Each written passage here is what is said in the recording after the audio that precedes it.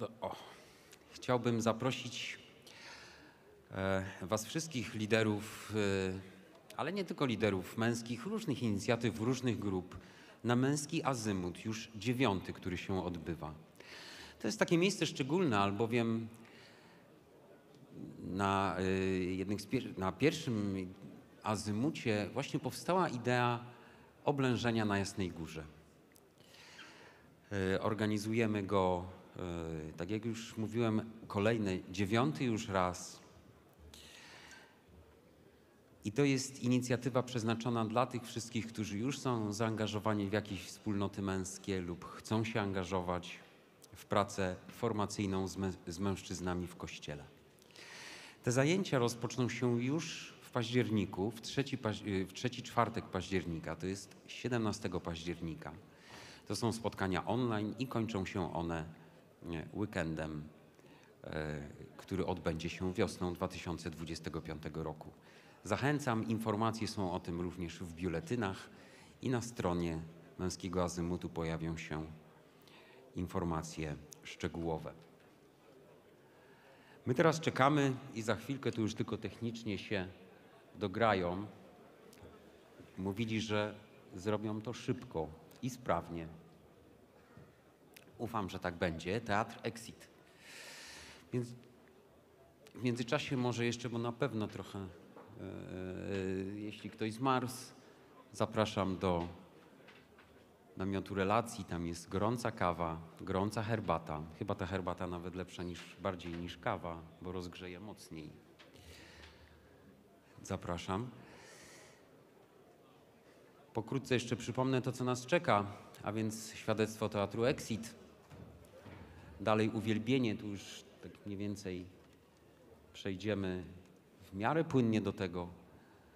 Później jeszcze wysłuchamy naszego gościa specjalnego Przemysława Babiarza i zakończymy o godzinie 21 e, ślubami jasnogórskimi, gdzie odnowimy te śluby jasnogórskie na e, włączności z kaplicą Matki Bożej Częstochowskiej.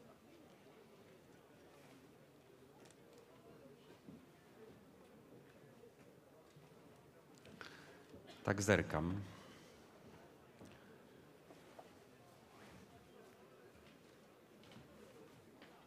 Czy już gotowi?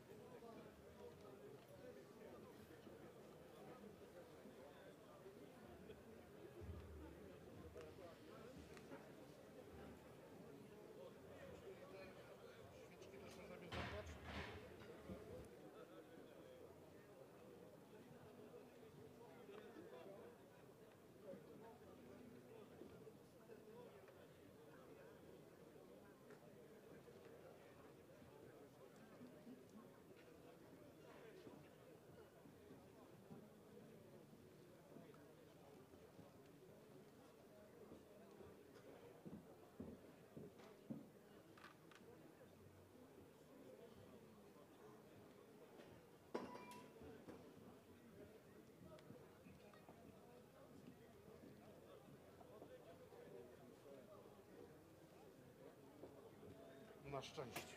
No. Tak się zorientuję tylko krótko, jak wyglądamy. No, jeszcze dwie minuty.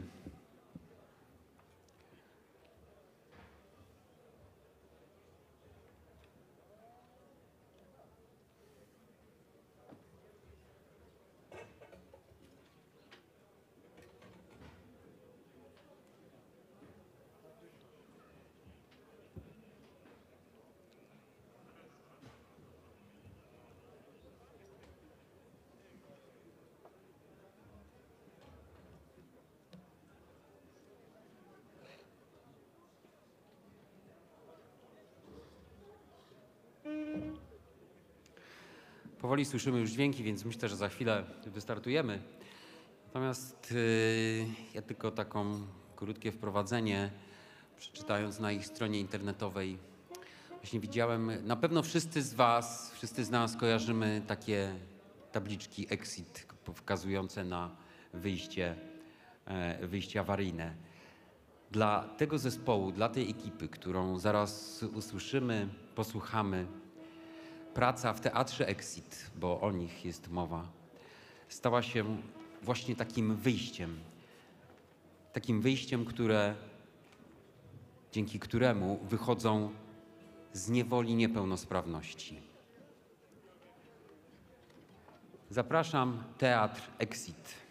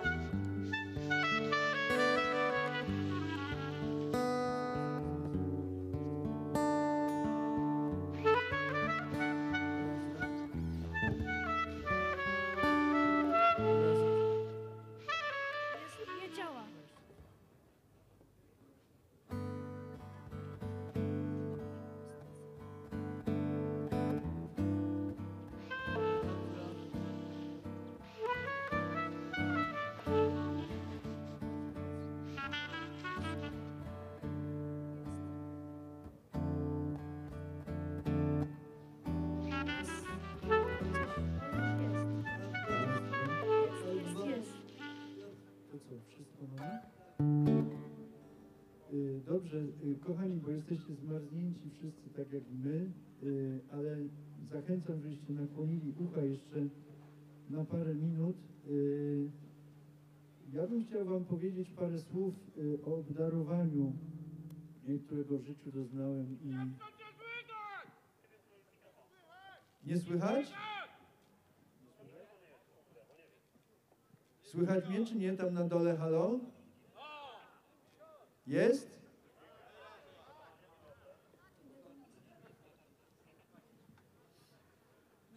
Dobra, to jeszcze raz sprawdzamy, czy tam na dole słychać teraz? To było tak, czy nie?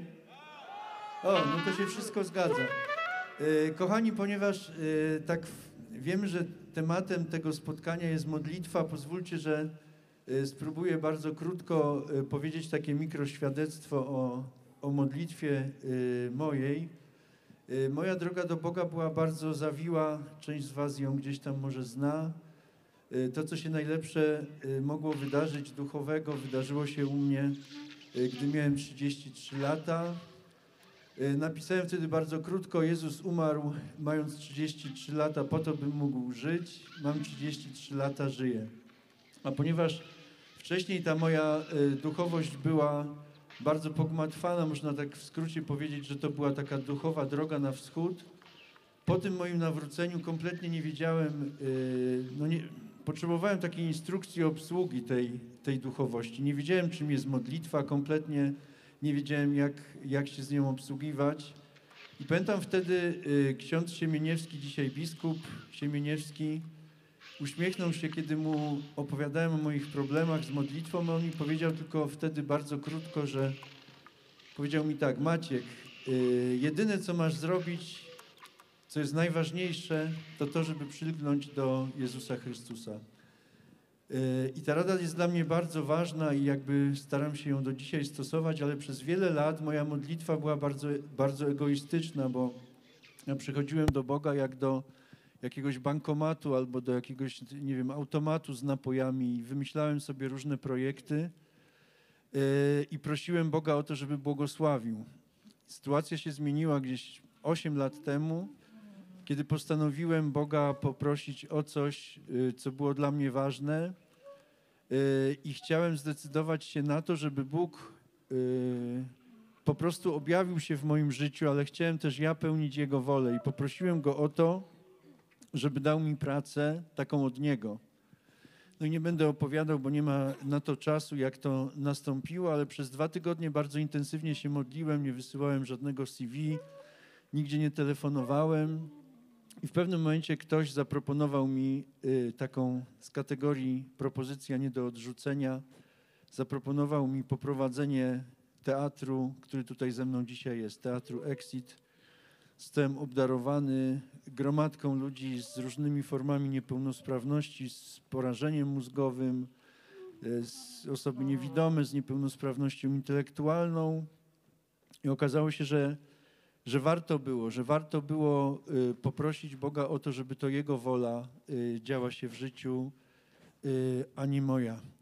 Chcieliśmy Wam dzisiaj trochę przedstawić teatr i też Was poprosić o modlitwę, bo, bo jesteśmy jakby w sytuacji bardzo trudnej. Jest, jest to rzeczywistość kompletnego braka, braku wsparcia. W tej chwili mam na myśli instytucje naszego państwa i tej modlitwy i wsparcia będziemy od Was bardzo potrzebować.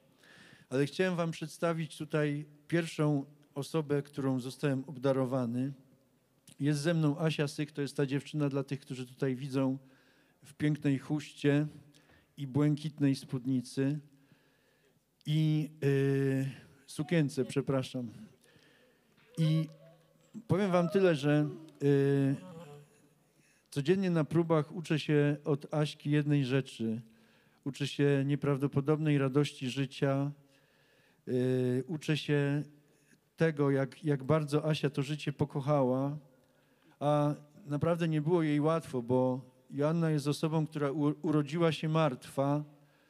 Yy, w jakiś sposób została, yy, została w pewnym momencie przywrócona do życia powiedziano, powiedziano jej, jej y, rodzinie, że, że muszą ją natychmiast ochrzcić, bo nie przeżyje doby.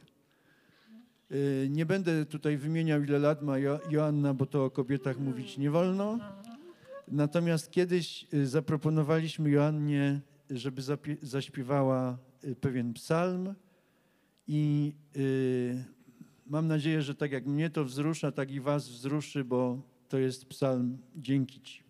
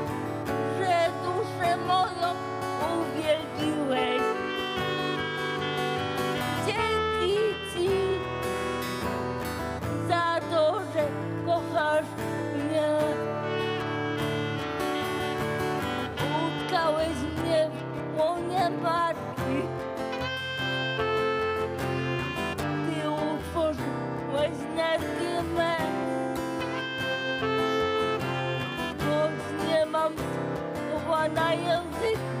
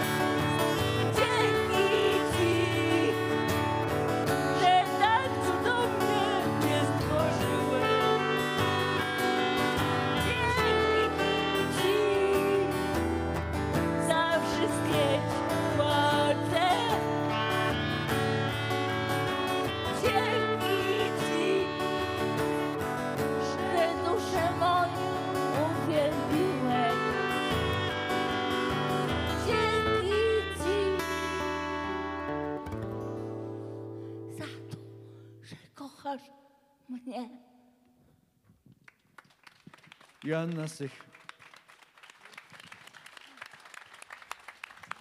Słuchajcie, y, myślę, że tak, że skoro tak bardzo zimno, to może spróbujemy się rozgrzać trochę i zachęcamy Was do, do, do wspólnego z nami śpiewania. Myślę, że bardzo szybko y, załapiecie, co tutaj można powtarzać. To będzie nasz hymn, hymn teatru Exit. Piosenka, y, która się pojawiła zupełnie przypadkiem, bo y, kiedyś graliśmy, graliśmy spektakl i ktoś nas zapowiadał i mówi, o, Exit to jak Exodus Boba Marleya i to był taki żart. A ja sobie pomyślałem, że ten Exodus to przecież jest Exit, a tekst Boba Marleya Exodus, jak sobie go tak y, na polski przełożyłem, to całkiem pięknie stroi i pomyślałem, że on jest o nas, o tym, że wychodzimy z niewoli. My, my tutaj od ośmiu lat, słuchajcie, wy, wychodzimy z niewoli niepełnosprawności, ale ci, ci, którzy są pełnosprawni, wychodzą z o wiele gorszej niewoli, jaką jest nasz egoizm. Exit.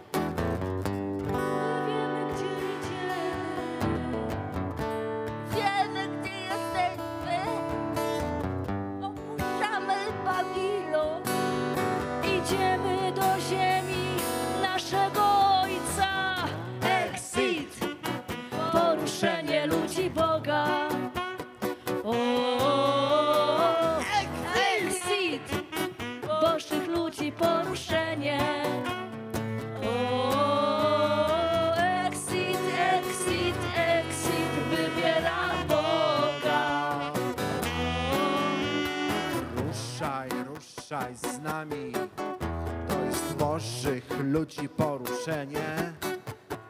Pan przychodzi do złamanego i niecierpliwego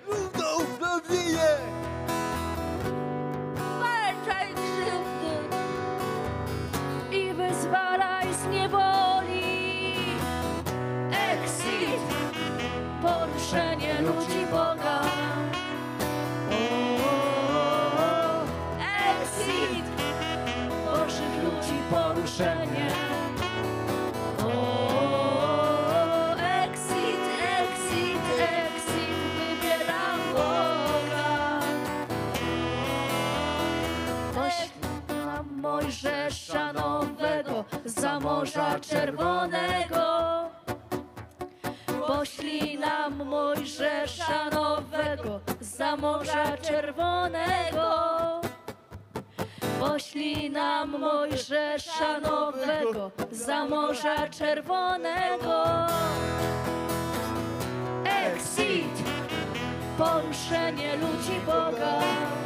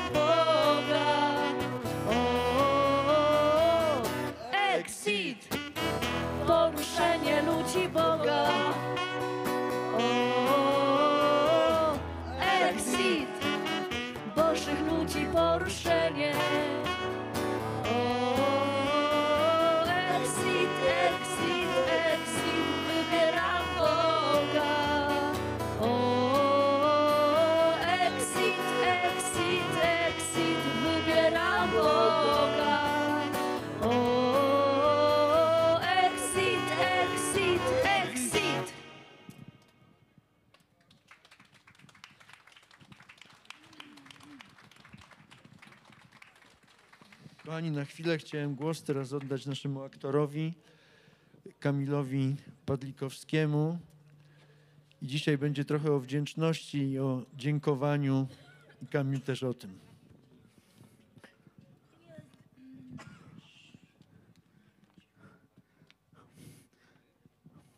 Dziękuję Ci po prostu za to, że jesteś.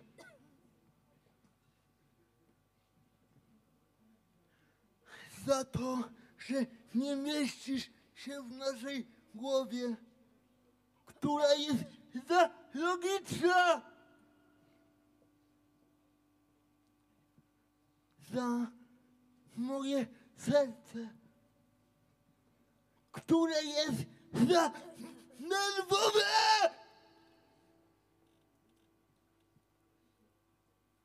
Za to, że jesteś tak bliski. I tak daleki, że we wszystkim inny. za to, że jesteś odnaleziony i nie odnaleziony jeszcze, że uciekamy od Ciebie do Ciebie.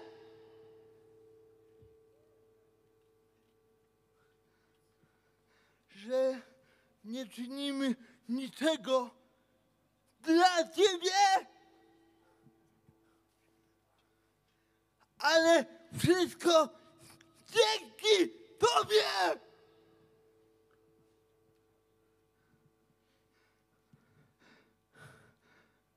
Za to, że to, czego pojąć nie mogę. Nie jest nigdy złudzeniem.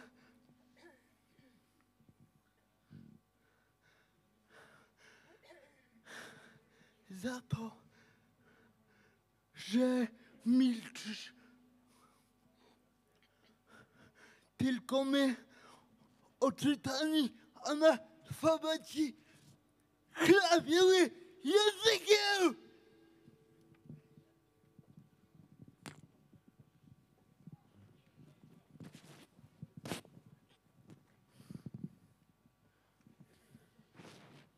Pan jest z Tobą, dzielny wojowniku.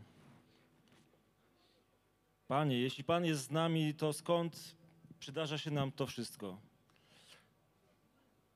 Paweł Koczur, jestem częścią teatru od jakiegoś czasu i te słowa, które Pan wypowiedział, anioł do Gedeona, e, dzisiaj się wypełniają w moim życiu. Jestem częścią tej, tej cząstki. y, Kiedy Pan daje mi odwagę do tego, żeby tutaj do Was dzisiaj mówić. A mówię dlatego, że teatr jest w trudnym momencie.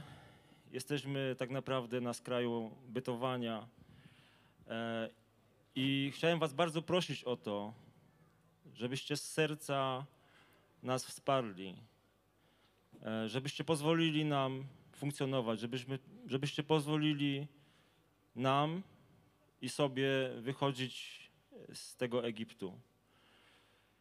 E, Będziemy rozdawać takie małe wizytówki z, ze zdjęciami z naszych realizacji i tam jest kod QR i jest strona nasza.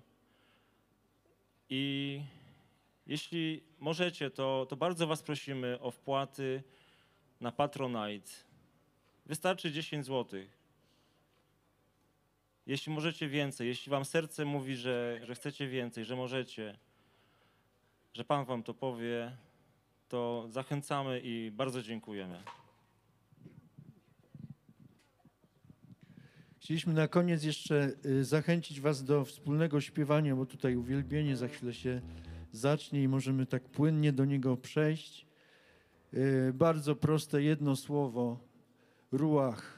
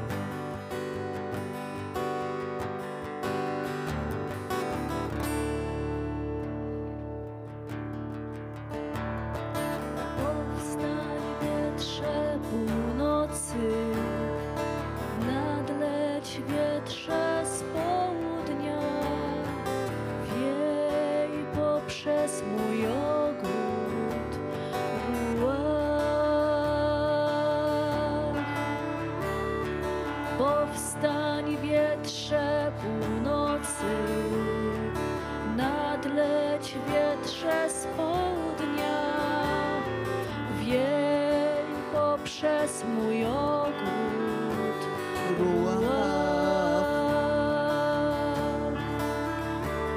Ruach, ruach,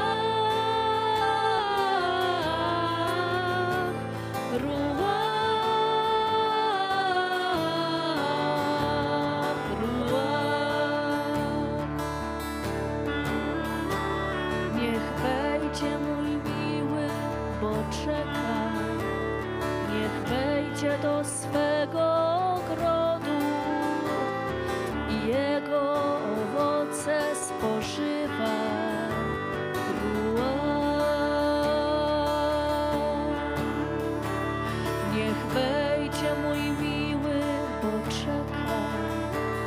Niech wejdzie do swego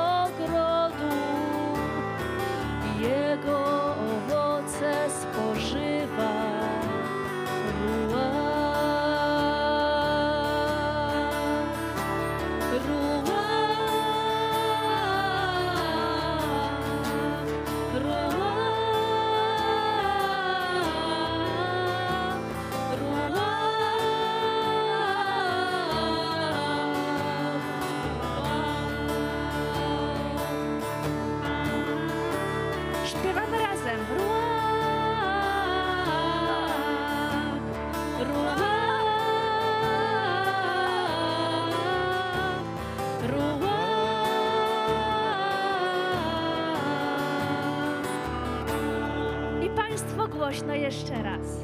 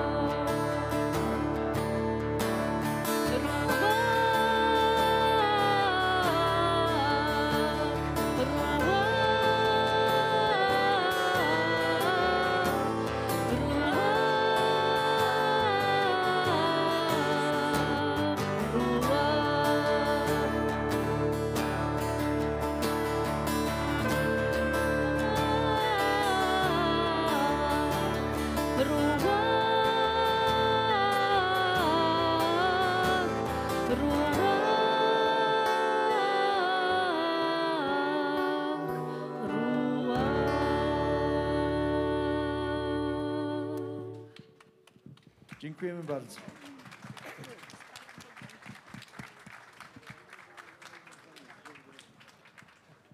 Bardzo dziękujemy.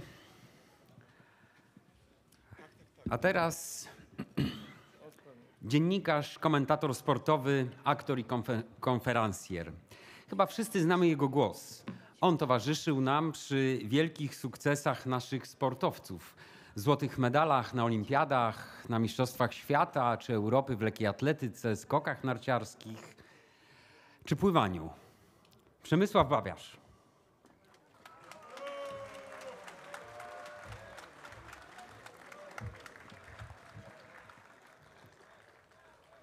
Niech będzie pochwalony Jezus Chrystus. Bardzo dziękuję za zaproszenie. Bardzo dziękuję, że mogę być wśród tej wspólnoty, która chce oblegać Jasną Górę, a w razie czego, jak się domyślam, byłaby gotowa również jej bronić, bo w końcu nie jesteśmy Szwedami. Miałem takie przeczucie w tym roku, na początku, od stycznia, że tegoroczny Wielki Post będzie dla mnie wyjątkowy, że stanie się coś bardzo ważnego w czasie Wielkiego Postu.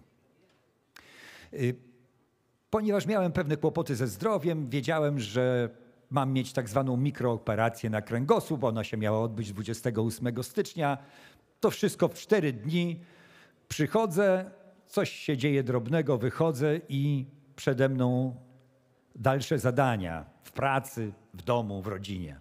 Okazało się, że po tych czterech dniach wyszedłem ze szpitala, ale po następnych czterech do niego musiałem wrócić. Okazało się, że mam zakażenie, że trzeba walczyć z bakterią, która przy kręgosłupie jest wyjątkowo uporczywa, trudno się ją zwalcza, potrzebne są bardzo mocne antybiotyki, y, no bo kiedy bakteria się zakorzeni w układzie kostnym, to nie ma takiego ukrwienia, takiego dostępu lekarstwa. I tak spędziłem w szpitalu ponad dwa miesiące. Nigdy w życiu wcześniej nie byłem w szpitalu, więc proszę się domyślić, jakie, jakie to było dla mnie przeżycie.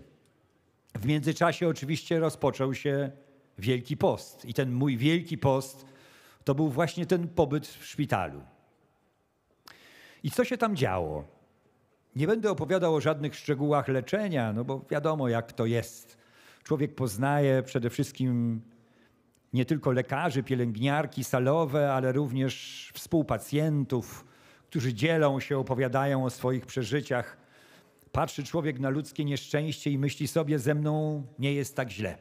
Ale pewnego dnia, zaraz na początku, zauważyłem na tablicy ogłoszeniowej numer telefonu do kapelana szpitalnego. Wykręciłem ten numer, miałem przy sobie telefon, miałem komórkę. Odebrał kapłan. Tam, gdzie byłem w szpitalu, posługiwali ojcowie jezuici.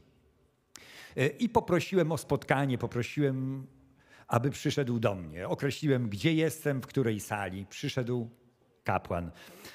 I tak od tego czasu przez następne dwa miesiące przychodzili do mnie kapelani szpitalni. Zapamiętałem ich imiona. Był ojciec Zdzisław, ojciec Mieczysław, ojciec Witold. Oczywiście przystąpiłem do spowiedzi świętej, a następnie codziennie przychodzili do mnie z Najświętszym Sakramentem. Codziennie przyjmowałem ciało pańskie.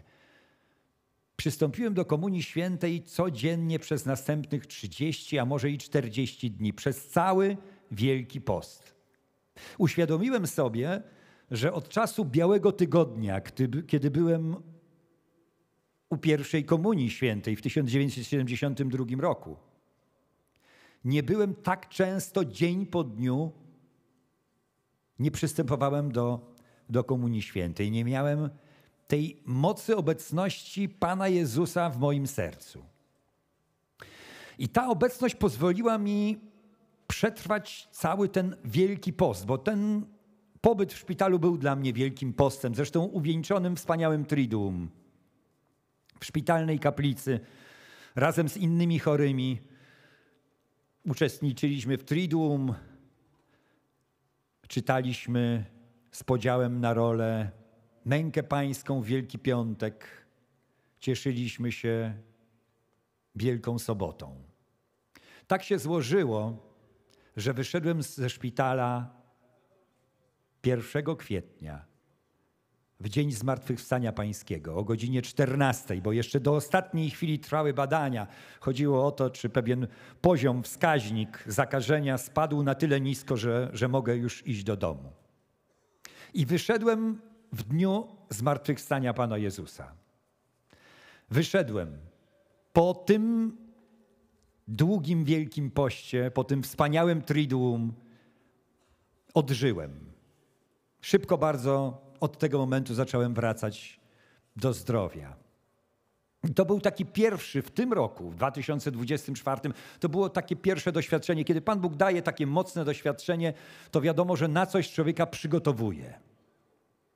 I ja czułem, że ten cały rok będzie pełen różnych wydarzeń, być może i bardzo trudnych, ale że Pan Jezus nigdy mnie w tych okolicznościach i w, w tych warunkach nie opuści.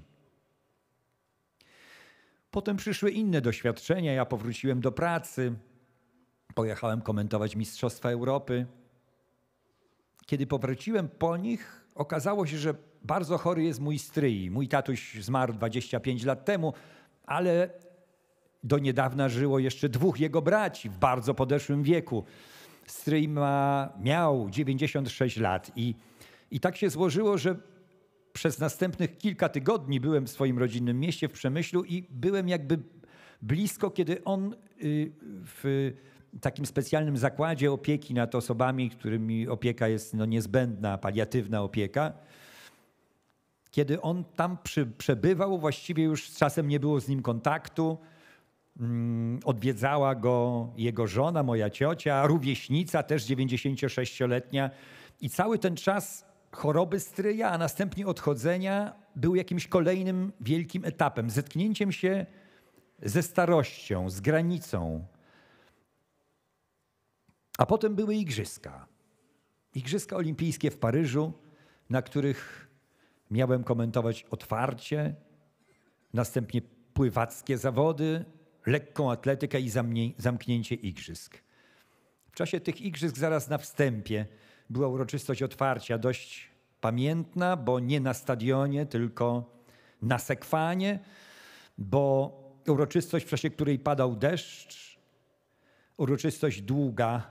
Spodziewałem się, że będzie tam dużo akcentów związanych z rewolucją francuską, że może mogą być też takie fragmenty, które będą nieco godziły w moją wiarę, w chrześcijaństwo. Okazało się, że tak było. Obiecywałem sobie przed tym komentarzem, że postaram się być bardzo powściągliwy, że postaram się dać tym, którzy obserwują, którzy oglądają tę uroczystość telewizji, wyrobić sobie własne zdanie.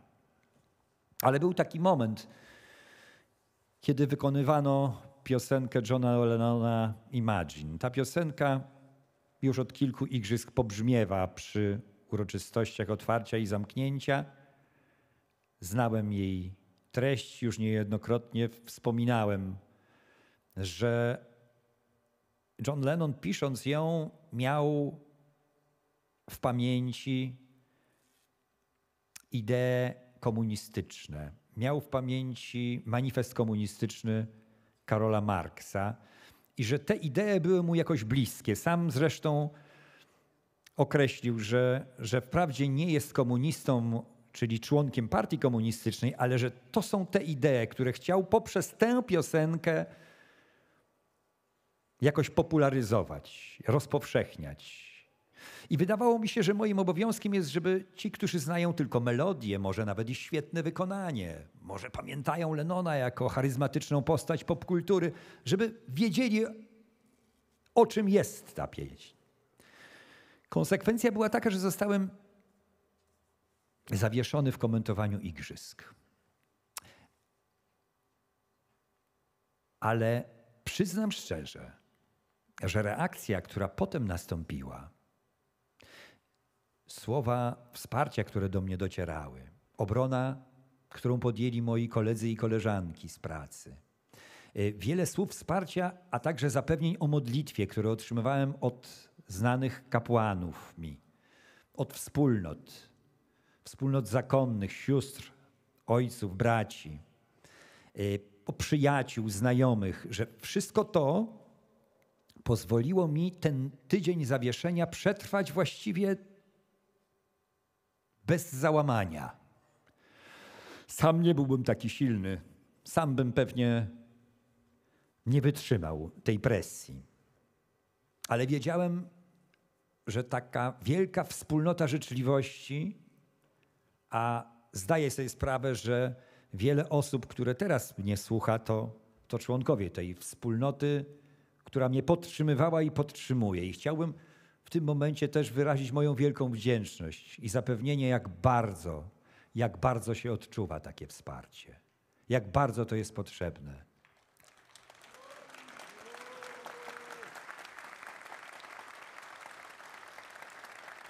I to udało się przetrwać dzięki Bożej opiece, dzięki Bożej pomocy. Ten rok się jeszcze nie skończył. W tej chwili przeżywam jeszcze jedno trudne doświadczenie wraz z moją żoną, bo jest chora i czeka ją operacja. Wiedziałem zaproszony, że przyjadę tutaj na Jasną Górę przed wizerunek Matki Bożej Częstochowskiej, przed którym niejednokrotnie klęczałem, prosząc i dziękując za otrzymane łaski. I że przy okazji tej wizyty i naszego spotkania będę mógł i pomodlić się w intencji mojej żony. I to jest taka wielka dla mnie nadzieja, że te doświadczenia choroby, która najpierw dotknęła mnie, a teraz dotyka moją żonę, że my przez to przejdziemy mocniejsi. A mocniejsi jesteśmy dzięki obecności Pana Boga w naszym życiu. I tutaj dwie sprawy, do których bardzo mocno chciałbym nawiązać. Pierwsza sprawa to centrum naszej wiary, którą jest Eucharystia. Dzisiejszy świat niewątpliwie przeżywa taką atrofię zdolności przeżywania świętości, sakrum. Ludzie, którzy są spoza Kościoła, zdają się zupełnie nie rozumieć, czym jest Eucharystia, czym jest istotowa obecność Pana Jezusa w swoim ciele i krwi. Jak wielka moc płynie z tego sakramentu, jednego z siedmiu sakramentów, dzięki, których, dzięki którym możemy czerpać moc i łaskę od Pana Boga. Cześć dla Eucharystii wydaje, wydaje się być rzeczą naj, najważniejszą, którą możemy pielęgnować i utrzymać. Nie ma Eucharystii, i to jest druga rzecz, na, chciałem, na którą chciałem zwrócić uwagę, bez kapłanów. Jeżeli chcemy, aby Kościół, który jest w tej chwili targany z różnych stron niepokojami, jeżeli ta łódź Piotrowa ma nadal płynąć w dobrym kierunku ku Panu Jezusowi i z Panem Jezusem, bo jak sam Pan Jezus powiedział, jest i drogą, i prawdą, i życiem. To wiemy, że w rękach kapłańskich chleb zamienia się w ciało pańskie, a wino zamienia się w krew pańską. Więc szczególną modlitwą musimy otaczać kapłanów. Istnieje bardzo poważny kryzys liczby powołań kapłańskich, to wiemy. Kiedy byłem chłopcem kilkunastoletnim i pamiętam swoje uczestnictwo w tridu paschalnym w moim rodzinnym mieście w Przemyślu, w czwartek i w piątek zawsze seminarium duchowne uczestniczyło, wszyscy alumni. Było ich wtedy w Przemyślu około 600, po 100 na każdym roku. Sześciu latach seminarium. Teraz jest ich znacznie mniej. Ale tym większa musi być nasza moc modlitwy i im większy będziemy odczuwali głód i deficyt kapłanów, choć Polska i tak ma ich wielu na tle innych krajów Europy i świata, tym większa powinna być nasza świadomość, jak godność kapłana, który jest in persona Christi, czyli jest jakby w, w osobie Chrystusa dla nas obecny ze swoją posługą, jak wielkim jest dla nas darem i jak powinniśmy być z kapłanami solidarni, jak powinniśmy się za nich modlić. I jeszcze jedna sprawa, patrzę, ile zostało mi czasu. Analizujemy różne zagrożenia, zagrożenia wiary, zagrożenia poczucia kierunków, poczucia sensu. Żyjemy w świecie zgiełku, w którym poprzez takie właśnie urządzenia, jak to urządzenie, ja je też mam, nieustannie dochodzą do nas informacje ważne i nieważne. Dochodzą w ilości tak wielkiej, że nie potrafimy na dobrą sprawę ich filtrować ani oceniać. Czyli zostajemy zarzuceni różnymi informacjami bez w gruncie rzeczy jasnej, jasnej wizji, które z nich są ważne, a które nieważne. Jakby zostajemy wytrąceni z naszej zdolności oceny, a przecież to właśnie nasza ocena, rozróżnianie dobra od zła, prawdy od fałszu, to jest podstawa jakby pracy naszego sumienia, w którym Pan Bóg prowadzi nas przez nasze życie.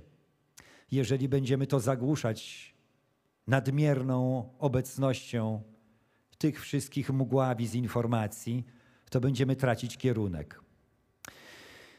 Chciałbym wspomnieć w tym miejscu o jednej sprawie jeszcze, która wydaje mi się ważna, bardzo mi leży na sercu. Tych spraw jest więcej, ale obiecałem sobie, że o niej muszę powiedzieć. Pierwsze przykazanie Boże, pierwsze z dziesięciu przykazań.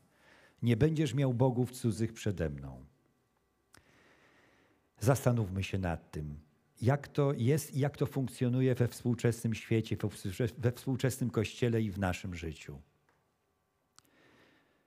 Czy nie jest tak, że różnego rodzaju bożkowie zaczynają nam naszego Boga w Trójcy Jednego, Ojca i Syna i Ducha Świętego przesłaniać? Czy nasze uwikłania codzienne nie powodują, że przestajemy odczuwać obecność Pana Boga w naszym życiu? Czy wreszcie nie jest tak, że kulturowo, w kontekście całego świata, zaczynamy jako chrześcijanie mieć wątpliwość, czy nasza religia jest tą jedyną prawdziwą religią? Tą, która poprzez Chrystusa, jedynego pośrednika do Ojca, nikt nie przychodzi do Ojca inaczej niż przeze mnie. Tak mówi sam Pan Jezus.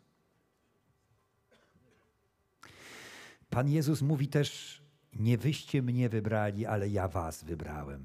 I to jest ta, ten porządek rzeczy, który inaczej przedstawia się w naszym świecie, a inaczej przedstawia się w perspektywie Bożej. W perspektywie Bożej to Bóg nas powołuje. My nie wybieramy sobie Pana Boga. Jedną z rzeczy, która rzeczywiście zagraża współczesnej wierze, jest wysunięcie człowieka przed Boga jakby humanizm miał zastąpić teologię, jakby socjologia miała zastąpić teologię. Musimy być bardzo czujni na to. Zwracajmy uwagę na język. Pamiętajmy, że kto chce zrobić rewolucję, ten zmienia język. Tak było zawsze. Tak było od rewolucji październikowej, a i wcześniej rewolucji francuskiej. Po II wojnie światowej komuniści zarządzili w szkołach olbrzymie zbiórki makulatury. Nie wystarczały gazety, trzeba było znosić również książki. Po co to było robione? Po to, żeby stare książki zniknęły z półek, żeby język się zmienił. Dlatego z takim wielkim pietyzmem podchodźmy do języka, w którym opisujemy wiarę i w którym ją przeżywamy. Z wielkim pietyzmem podchodźmy choćby do pieśni, które przez wieki, kiedy jeszcze piśmiennictwo, czytelnictwo nie było tak powszechne, ale to właśnie pieśń była tą nauczycielką wiary. Bardzo oczywiście doceniam współczesne pieśni religijne, współczesną wrażliwość, ale wciąż nie mogę otrząsnąć się z wrażenia, jakie zawsze na mnie robiła choćby, a jesteśmy na Jasnej Górze, przed tronem Matki Bożej. Hymn My chcemy Boga. Czy my, mężczyźni, jesteśmy tu w takim gronie, są wśród nas oczywiście kobiety, ale to chyba tym bardziej jeszcze nas dookreśla. Czy w tym gronie nie powinniśmy i tego hymnu podjąć, i wielu innych wspaniałych pieśni, które, co tu dużo mówić, są taką katechezą. Pamiętajmy zatem o pierwszym przekazaniu: Nie będziesz miał bogów cudzych przede mną. Pan Jezus jest królem. Sam o sobie tak powiedział, zapytany przez Piłata. Czy ty jesteś królem? Tak, ja jestem królem. Ja się na to narodziłem i na to przyszedłem na świat, aby dać świadectwo prawdzie. Królestwo moje nie jest z tego świata. A zatem opozycja, wiara, świat zawsze będzie istniała. Chrystus o tym mówił. Mówił, że będzie znakiem sprzeciwu. Czy zatem mamy iść z prądem i dostosowywać się do świata, czy mamy być wierni Jego słowu? Na koniec modlitwa, o której przypomniał mi jeden, z tych kapelanów i którą od tego czasu, kiedy byłem w szpitalu, odmawiam codziennie. Duszo Chrystusowa, uświęć mnie. Ciało Chrystusowe, zbaw mnie. Krwi Chrystusowa, napój mnie. Wodo z boku Chrystusowego, obmyj mnie. Męko Chrystusowa, wzmocnij mnie. O dobry Jezu, wysłuchaj mnie. W ranach Twoich ukryj mnie, nie dozwól mi oddalić się od Ciebie. Od złego ducha broń mnie. W godzinę śmierci mojej wezmij mnie i każ mi przyjść do siebie, abym z świętymi Twymi chwalił Cię przez wszystkie wieki wieków. Amen.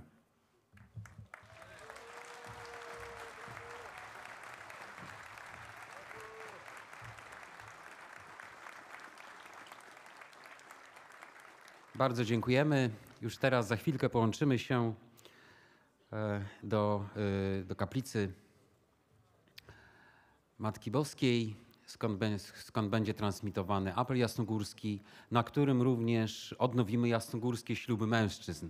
Zachęcam do pozostawienia i tu już ostatni punkt naszego dzisiejszego programu. Bardzo serdecznie dziękuję wszystkim, którzy przybyli, którzy jeszcze pozostali i zapraszam za rok 27 września 2025 roku. Dobrej, dobrego powrotu do domu, szerokiej drogi. Szczęść Boże.